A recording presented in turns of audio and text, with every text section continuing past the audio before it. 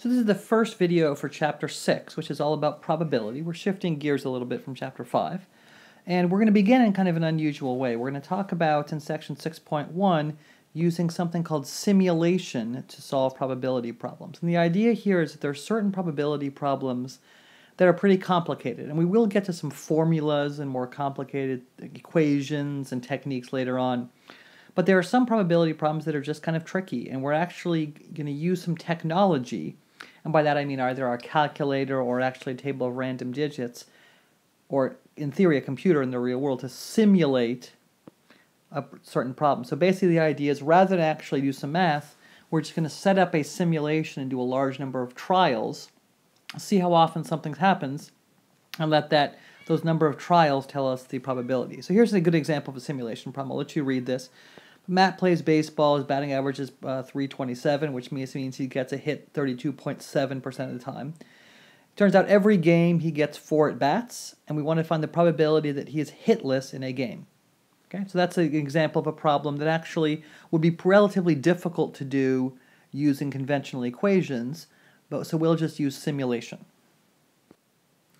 So these four steps are the steps for every simulation problem. I'm just going to run through them quickly and then I'm going to go through them each of them in more detail for this example.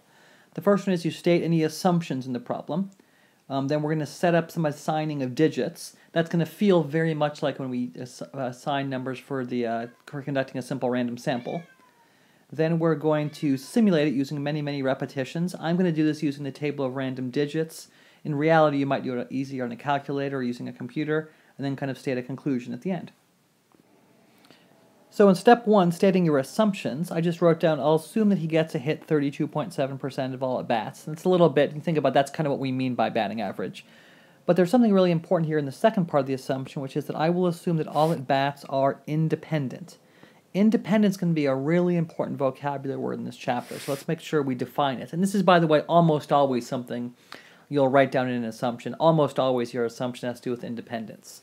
Independent is the idea that one outcome, or one trial, I guess I should say, one outcome or trial does not influence another. That is, in the, in the case of this particular example, whether or not he gets a base hit on the first at bat of a game has absolutely nothing to do with the second at bat or the third at bat or the fourth at bat. In other words, every single at bat is independent. If you think about baseball, this is kind of also a bad, bad assumption. You know, he might be having a bad day, might be a tough pitcher, et cetera, et cetera. But really, in order to do these problems, we have to assume independence. Um, and the definition of independence is always one trial or one outcome does not influence another. In other words, if you knew the if you knew whether he got a hit in the first at bat, what's the probability he got a hit in the second at bat? Well, the first at bat didn't matter. It's 32.7%. And we'll talk a lot about independence in this chapter. So then here's step two, which is assigning the digits. So what I'm going to do is I'm going to assign three digit numbers. Now, why three digit numbers? Because the number was 32.7%. And that's there's no way to do that in under three digits. So I'm going to say, okay, well, numbers 000 through 326 represent a hit and then the numbers 327 through 999 represent not a hit. Now it's a little bit goofy, you'll notice here I started at 000 rather than at 001. And you may think, well, why is that? Let me just kind of doodle down below here. If I did it like this, 001 to 327 was a hit, then I'd have to go 328 to 1000 is not a hit. And the problem is, oh no, now I'm in four digit numbers.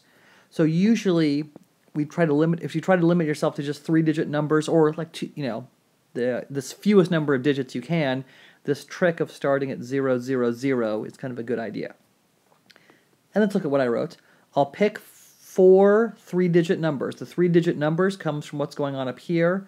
The four comes from the fact that i wrote before. Remember he gets four at bats in every game from the table of random digits. Again you could also use a calculator and that will simulate one game Okay, so let's let's do that on the next page.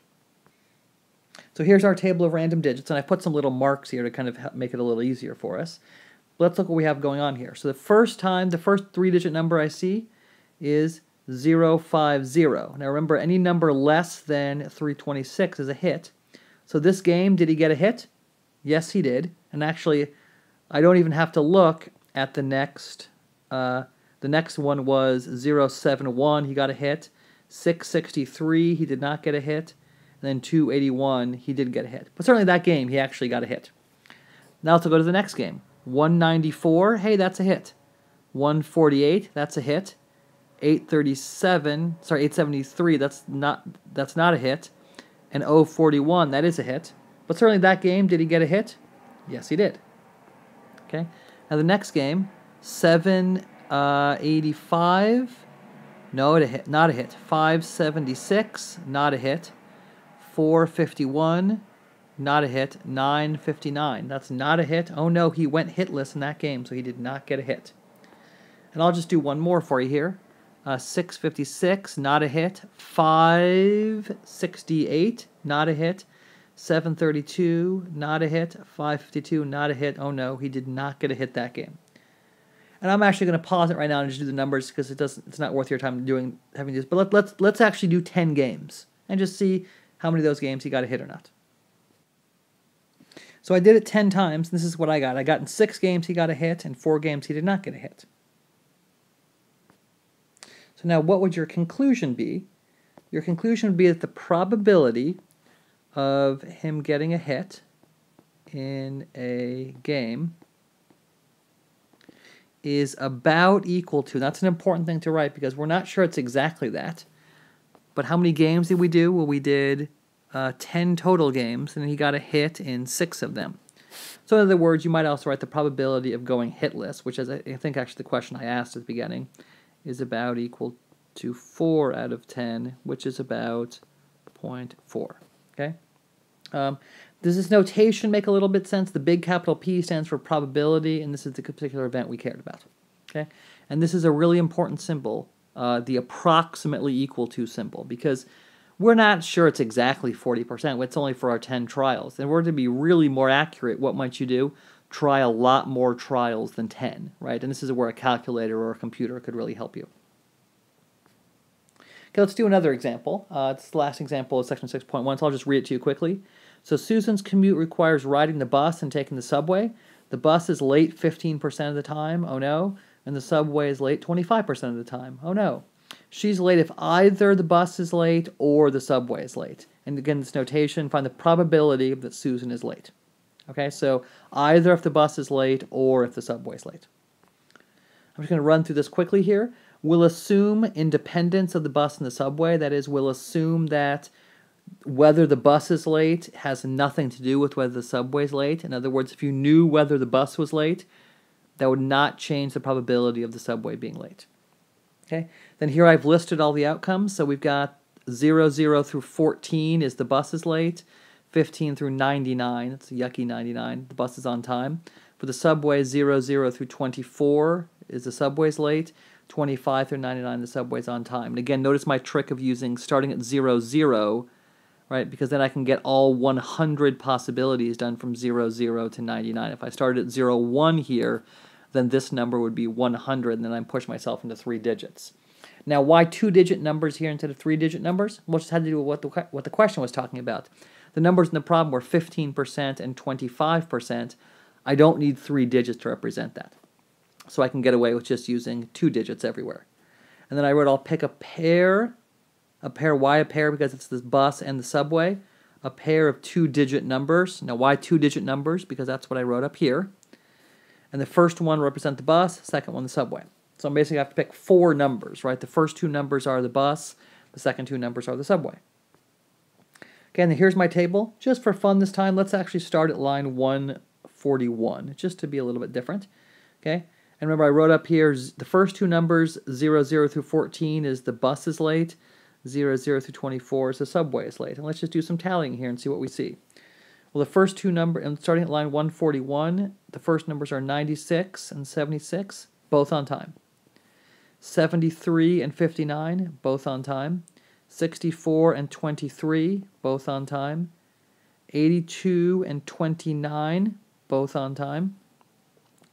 60 and 12, okay, oh no, the 12, the bus is late, so she's late.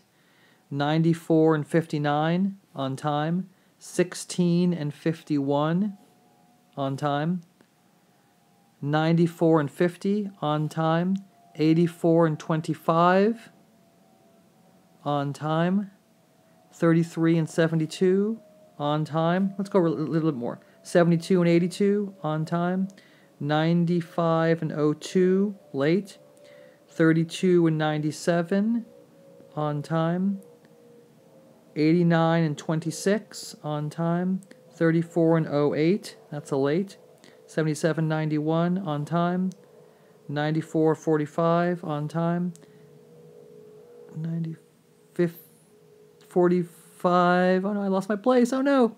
Uh, what did I just say? Oh shoot, 91. Shoot, I lost my place. I'm just going to stop there then. Oh no, I lost my place. Okay, so now we'll say, okay, how many did I try? Just because I lost my place. Well, I did, there were three here. Looks like there were uh, 14 here. So of the 17 things I tried, there were three of them being late. So you can figure out that's about the probability she was late. And look at right here, okay, this approximately equal symbol, really, really super important. Okay, that's probability through simulation. And by the way, don't lose your place.